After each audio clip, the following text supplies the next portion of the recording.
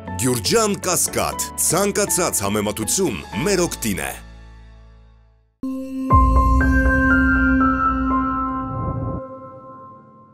Սիրելի ժողովուրդ,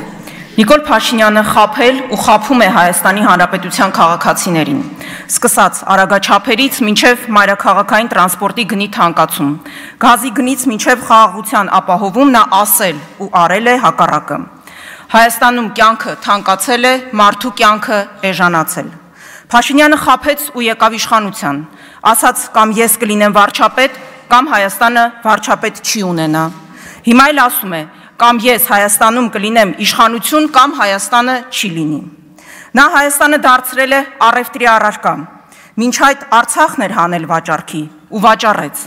Խոստացավ. Արցախահայության ինքնորոշման իրավունքի իրացում, հայտարարեց, որ Արցախը Հայաստան է եւ վերջ, բայց Արցախը հանձնեց Ադրբեջանին, արցախցիներին էլ դարձրեց փախստական։ Ինչ մնում է Հայաստանին, ապա հիմա այն դրված է Ռուսաստան արևմուտք, Իրան արևմուտք հակամարտության զոհասեղանին։ Փաշինյանը խափում է, թե իբր խաղաղության խաչմերուկ է դարձնում Հայաստանը։ Դրագինը նա նշանակել էր Արցախը, ասում էր, մինչև Արցախը չհանձնենք Ադրբեջանին, Հայաստանը խաղաղ չի կարող ապրել։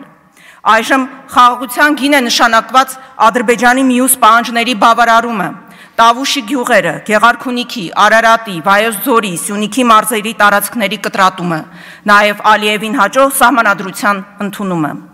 Փաշինյանի քարոշչաթիմը խափում է, թե իբր մեր անվտանգության երաշխավորը կարող են դառնալ Արևմուտքը եւ ՆԱՏՕ-ն, բայց դրա համար պետք է թշնամանալ Ռուսաստանի ու Իրանի հետ։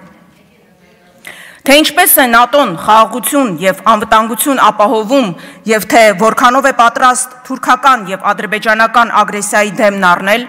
տեսել ենք Հյուսիսային Կիպրոսում, Սիրիայում, Ուկրաինայում, դրանից առաջ տեսել էինք նաեւ Վրաստանում։ Փաշինյանի արևմտամետությունն իրականում թուրքամետություն է։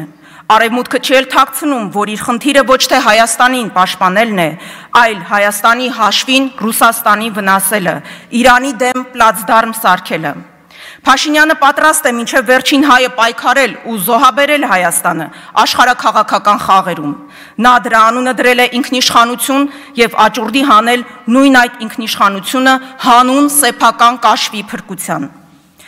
Հայաստանյան այցի ընթացքում ՆԱՏՕ-ի գլխավոր քարտուղար Ստոլտենբերգի հայտարարությունը Փաշինյանի լուր համաձայնությամբ վառ վկայությունն է այն բանի, թե ինչպես է Փաշինյանը Հայաստանը դարձնում զոհաբերվող խաղակարդ ՆԱՏՕ-Ռուսաստան հակամարտությունում։ Հայ ժողովուրդը պետք է դասեր քաղի այլոց ու սեփական պատմությունից եւ թույլ չտա Հայաստանի ուկրաինացում Դրա թիվ 1 նախապայմանը Փաշինյանին իշխանությունից հեռացնելն է։ Փաշինյանի ու Հայաստանի շահերը խոր հակասության մեջ են։